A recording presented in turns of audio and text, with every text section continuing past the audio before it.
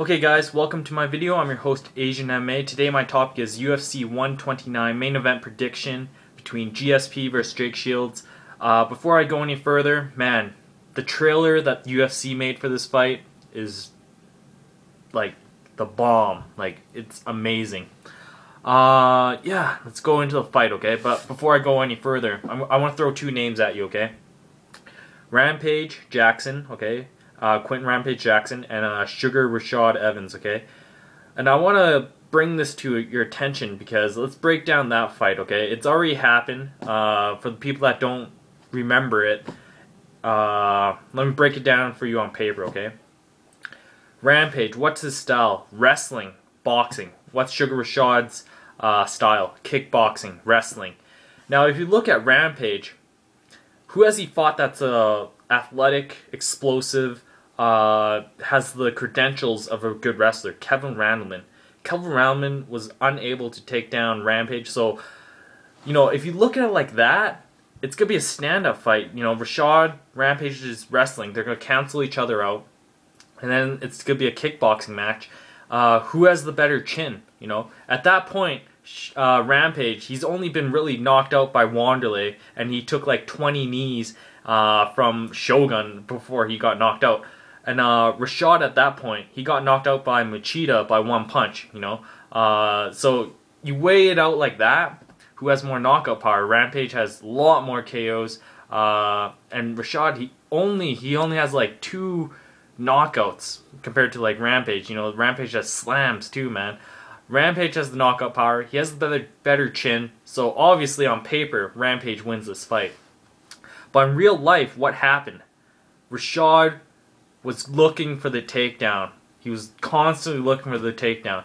That means, you know, Rampage is busy defending the takedown. And even if he's defending, it's not like he's to knock someone out when his head's by his crotch, you know? you can't generate enough power from this distance, you know? You gotta be like He-Man for you to knock someone out when their head's by your crotch looking for to take you down. So keep that in mind, okay? So what do I think is gonna happen between GSP versus Jake Shields? Why did I bring up Rampage and Rashad? Because I think that's what's gonna happen, man. Like the casual fans go look at like this.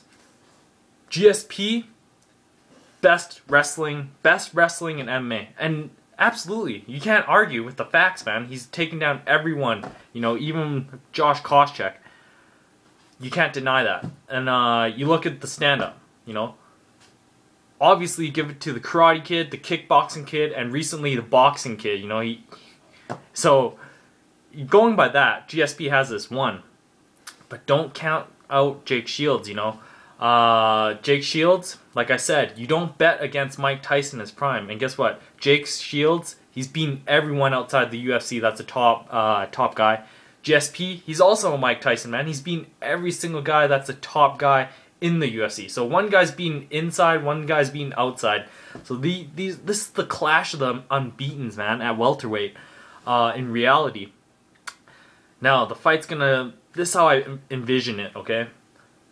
GSP, he's gonna, uh, he's he's gonna, he has the ability to take the fight anywhere, but uh, it's no, it's it's not gonna be a surprise that Jake Shields is gonna go in there, close the distance, and work for a single or double. Will he be successful? I don't think so. You know, I think maybe out of the ten tries he he goes for a takedown, I think he might be able to get one, and one if he's lucky, man. Because Jake Shields, frankly, he's not that explosive. You know. Uh, He's not that explosive. He's not that athletic, at least in my eyes. Uh, he doesn't seem that quick, but uh, what he does have is uh, strength. You know, uh, Jon Fitch in one interview that I've seen, he said Jake Shields is the is the strongest welterweight I've ever uh, you know wrestled with.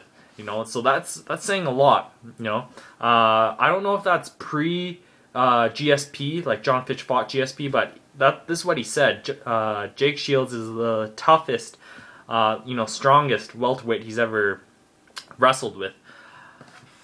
I wish I could give you that interview because uh, it's pretty interesting, but honestly, I don't know where I saw it, but I remember it distinctly. Okay, so back to the fight. It's gonna be no surprise, man. Jake Shields doesn't want any of the stand up, even though keep this in mind. Okay, Jake Shields can stand with GSP. Why? Because GSP doesn't really have knockout power, you know. He has power in his hands, but he doesn't have knockout power. Because let's face it, man, I'm not hating. I'm just telling you the facts, okay? He couldn't even knock out a guy with one eye. You know, he couldn't knock out Josh Koscheck. And uh, you know, Jake Shields, he has a chin on him. He took Dan Henderson's best punch, you know, and survived and dominated him for four rounds. Uh, so you know, Jake Shields has a chin, so standing up, you know, he can take a shot coming in and uh, close the distance, and it's gonna be safe from him in the clinch. You know, in the clinch, I think he's gonna drop for single legs, double legs, uh, switch back and forth, maybe work some underhooks, and uh, if if he gets lucky, he gets the fight to the ground. I think Jake Shields is just gonna hold him there, and like, it's it's gonna be a really really disgusting, ugly. Uh, the crowd, you know, it's in Canada. The crowd's gonna be all riled up, and then as soon as the fight like stalls, because I hope everyone expects a stall, man. The fight's gonna probably get stood up a few times. Uh, it's just gonna be an ugly, ugly fight, man. Uh, but I just see Jake Shields pulling this, uh, you know, th this out of his ass, and he's gonna win maybe three rounds, maybe four rounds won't say five rounds, you know, but I it's gonna be an ugly fight, man. Notice I've said ugly a few times. It's just gonna be ugly, man. If GSP can finish Jake Shields, uh, it's gonna be pretty damn impressive because Jake Shields he hasn't been finished a long time. I don't think Jake Shields can uh, submit GSP because let's face it, GSP's been training with Renzo, Renzo Gracie. Um, yeah, man, ugly, ugly fight. I have Jake Shields winning it.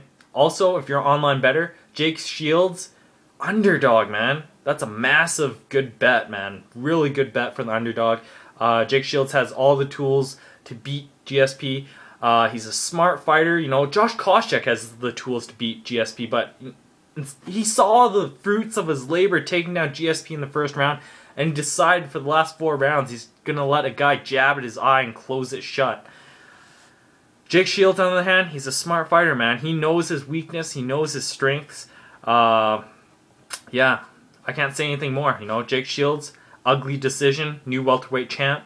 Uh, if you agree with me, thumbs up. If you disagree and you think GSP is going to be, uh, you know, the welterweight king, you know, there's no one else really except Jon Fitch that he has to fight to beat the division. So thumbs down if you think GSP is going to win. Thumbs up for Jake Shields. But that's my video as usual. And uh, yeah, thanks for watching. Asian MMA signing out.